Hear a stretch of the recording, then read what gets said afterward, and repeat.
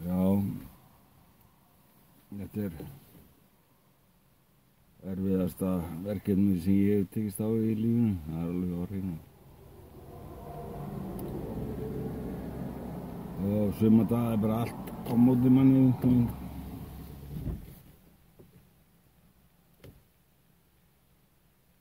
Og að ég er hérna, séu hérna Valdorf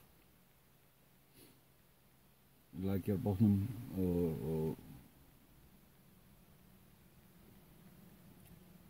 Já, sé bara ótrúlega fegur hérna. Það er um þetta hilsa búin okkur að hæsta hérna rétt hjá og gaf einn smá harfisk. Við vorum ekki alveg viss hvernig fýluð hann, en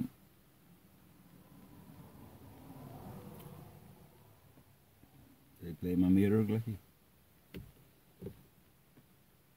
Að fólk gleymi mér ekkert. Eh, Ég er að tala um hluti sem maður enginn talar um. Og það bæði vekur upp aðdáðan og fyrirlitningu hjá fólki. Hver þykist þessi vera? Er, ha, þetta, er þetta þessi hann og ég held ég sé bara að fara það lítur út eins og ég sé að fara að missa allt sko. Og það er svona verið að reyna á mig hvort að þetta er svona próf. Hvað þarf mikið að gluggapóst og mikið að símringum til þess að ég gefist upp? En ég held svona að þegar ég á Íslandsbanka væri að passa upp á mín fjármál sko. Þetta er nú ekki ára upp að þér. Eða hjá Arjón banka eða bara hjá eða bara vinni minni hjá Innis eða vinni minni hjá Ölgerðinni eða bara hjá fullt af vinnum alls þar og þeir hljóta geta stutt við strákinn. Já, ég tók einmitt fór einmitt inn á lögatskvöldinu og eitthvað sem sagði mér að kíkja við á bónstöðunni, eða á bónstöðun sem ég álaði fyrir, fyrir Innes hérna upp á Stórhöða og ég var búinn að búinn að hérna kíkja ánga og og ég er svona að fara að tíja mig heim þegar að ég sé að það er einn maður lappandi niður brekkuna alveg svona mjög spastískur að, eða veist, já. Það var mjög ankanlegur í, í, í göngulagi hjá honum og eins og hann var búinn að bá sér aðeins svo mikið á amfetamínu eða einhverju. Og ég svona byrði mig um að stoppa og ég var að stoppa og eh, hann spurði hvort ég geti skuttla á hann nýr í Holtagarða fyrir 1500 kall og ég sagðist að ég hérna ég hérna ægir.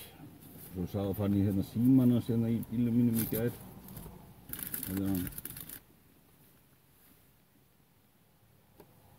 Og hann einmitt sagði mér að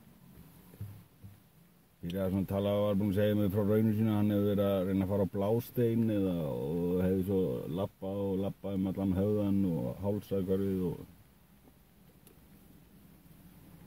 eins og sagði mér að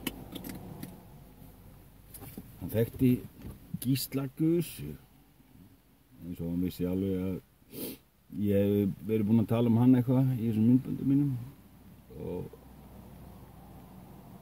við tenging hans við Villa og Jóla Bjössi eða eitthvað, ég veit ekki. Ég veit allavega hann tengist Villa eitthvað það eru gamlega vinnir og hann er úr hafnahörunum og hann var að segja mér að hann væri hættur að vinna og væri með krabba meginn og en hann væri efnaður og svolega sagði mér að hann byggi nú í Raumbæ 110 held hann. Sem er nú bara hjá Blásteini og þá komin út í rauðar hann hefur ekki bara verið að koma frá gísla eða eitthvað. En ég veit ekki alveg hvernig að hann tengist þessu öllu saman en hann einhvern veginn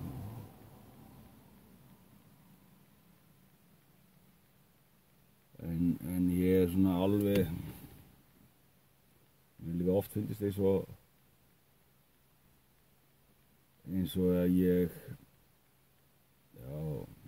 hverði þennan heim hérna. og ef það er eitthvað annað sem tekur við þá er það kannski bara allt í lagi eða eitthvað, ég veit ekki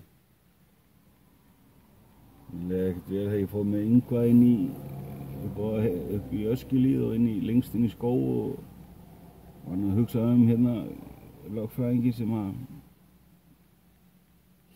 sem að tók vinn sinn að það og, og